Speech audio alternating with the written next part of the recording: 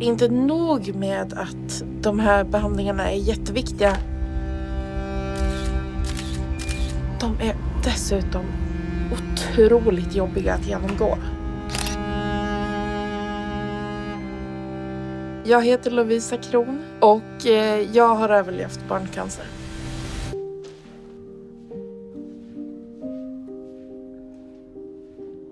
När jag var två år så visade det sig att jag hade neuroblastom som är en tumör som sätter sig på ryggen och som behandlades med en stor operation men också med en stark behandling av cellgifter.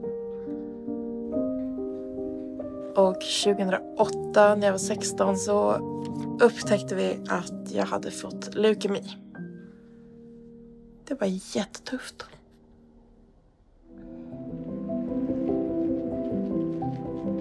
Listan av sceneffekter är lång för min del. Framförallt så handlar det om problem med de exekutiva förmågorna. Att komma igång med saker. Det påverkar min syn, så mina ögon samarbetar inte. Jag har väldigt dålig balans, så det är någonting jag jobbar med dagligen. Lovisa representerar en patient som har tagit sig igenom mycket, mycket tung behandling. Det hade ingen vuxen överlevt. Det finns två problem vad gäller behandlingen av barncancer. Det första är att få alla barn att överleva. Det andra handlar om att skona de som överlever från alla de biverkningar och sena effekter som man får av den tunga cancerbehandlingen vi ger idag.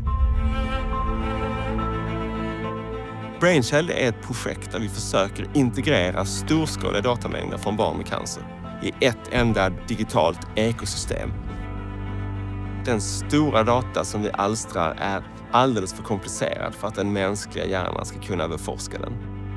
Utan här behöver människan ha hjälp av en AI för att förutsäga vilka barn som får återfall i sin cancer så att de kan förhindra återfallet och vilka barn som faktiskt kan klara sig med mindre behandling. Färre livslånga seneffekter och bättre överlevnad är det som verkligen är förhoppningen.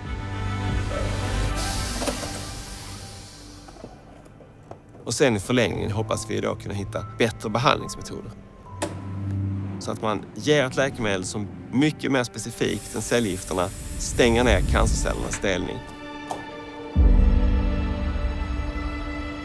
Den som får liknande diagnoser som jag ska A. Bli frisk. B. Ha en så skonsam och mild behandling som det bara går. Och C. Få så få seneffekter som det bara är möjligt. Det är det viktigaste för mig. Till alla forskare, läkare, sjuksköterskor så kan jag bara säga tack. Utan forskare skulle inte jag leva idag. Och det stämmer för flera av mina vänner också. Så. Tack. Jag önskar såklart att jag aldrig hade behövt ha cancer. Men samtidigt så har jag fått träffa så mycket trevliga människor. Och det är som att ha en extra familj. Jag ser väldigt optimistiskt på framtiden. Det blir lite bättre varje år för barn med cancer i Sverige. Brainchild är fortfarande i sin linda. Nu vill vi göra detta live. Då kan vi göra saker som är världsklass.